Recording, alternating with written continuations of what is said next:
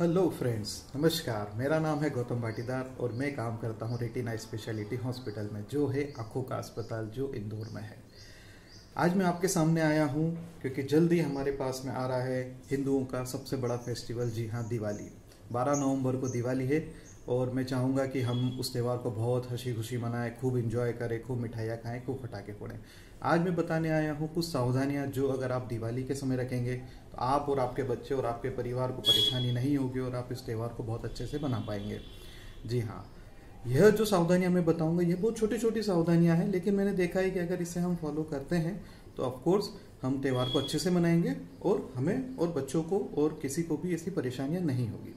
तो शुरू करते हैं। पहली सावधानी, जब भी आप फटाके फोड़ें तो एक पानी की बाल्टी हमेशा अपने साथ में रखें। अभी मैंने देखा है, मेरे घर के आसपास भी छोटे छोटे बच्चे अभी से फटाके फोड़ने लग गए हैं।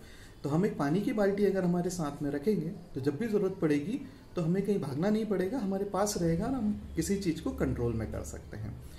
दूसरी चीज़ जो मैंने देखी है कि पाँच साल से छोटे बच्चे हाँ पाँच साल से छोटे बच्चों को फटाके न जलाने दें। उन्हें जब भी हो तो आप खुद फुलझड़ी या फटाके जला के उन्हें दूर से दिखाएँ।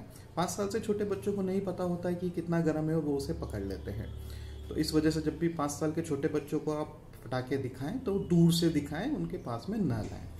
तीसरी चीज़ है, एक साथ में एक से ज़्यादा फटाके न जलाएँ। मैंने देखा है कि अधिकतर बच्चे एक अनार को लगाते हैं, फिर दूसरे को लगाते हैं, तीसरे को लगाते हैं, चौथे को लगाते हैं। एक रॉकेट को लगाते हैं, दूसरा, तीसरा, चौथा। उससे होता यह है कि जब एक के साथ में दूसरे पे जाते हैं तो हमारा ध्यान वहाँ से हट चुका होता है कि वो कहाँ जलने वाला है, कहाँ जा रहा है। तो जब हम एक से ज़्यादा फटाकों को आग लगाएँगे तो हो सकता है कि कुछ अनहोनी हो जाए। इस वजह से एक समय पे एक ही फटाके को जलाएँ तो हमारा ध्यान पूरा उसी तरफ़ रहेगा।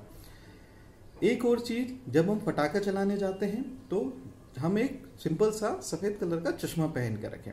हमारा आई हॉस्पिटल है, हमें पता है कि दिवाली के दिन भी बहुत बार इमरजेंसीज आती है, रात में हमारे डॉक्टर्स ऑपरेट करते हैं तो हमें पता है परिवार को कितनी परेशानी होती है। तो एक छोटी सी सावधानी आप रखें, जब भी पटाखे चलाएँ, एक चश्मा साथ में रखें, वो लगाएँ और उसके बाद में पटाखा चलाएँ। एक और सावधानी, जब मैं भी करता था, जब भी पटाखे चलाने जाते हैं, हम एक माचिस लेके पटाखा चलाने पहुँच जाते हैं। तो उससे होता यह है कि अगर फटाके की बत्ती बहुत छोटी होगी तो वो तुरंत जल जाएगी और फटाका हाथ के नज़दीक फूट जाएगा। ये मेरे साथ बचपन में हो चुका है। जब फूटता है तो बहुत बार वो छाले भी कर देता है हाथ में। तो एक सावधानी, जब भी आप फटाखा चलाएँ तो कोई लंबी चीज़, जैसे लंबी अगरबत्ती हो सकती है किसी डंडी के थ्रू लंबे दूरी से फटाका जलाने की कोशिश करें। उससे अगर फटाका जल्दी फूटता भी है तो आपके हाथों को कोई नुकसान नहीं होगा। आखिरी सलाह, जब भी फटाके खरीदने जाएँ, कोशिश करें किसी कंपनी या कुछ अच्छे प्रोडक्ट्स ही आप खरीदें। क्योंकि ऑफ़ कोर्स अगर आप सस्ता या ज़्यादा लोकल में जाएँगे तो उससे होता ये है कि क्वालिटी मेजर्स को फॉलो नहीं करते हैं। तो कभी जल्दी फटने का, कभी गलत फटने का देखा है कि बहुत बार चक्रियाँ जलाने जाते हैं और वो फट जाती है।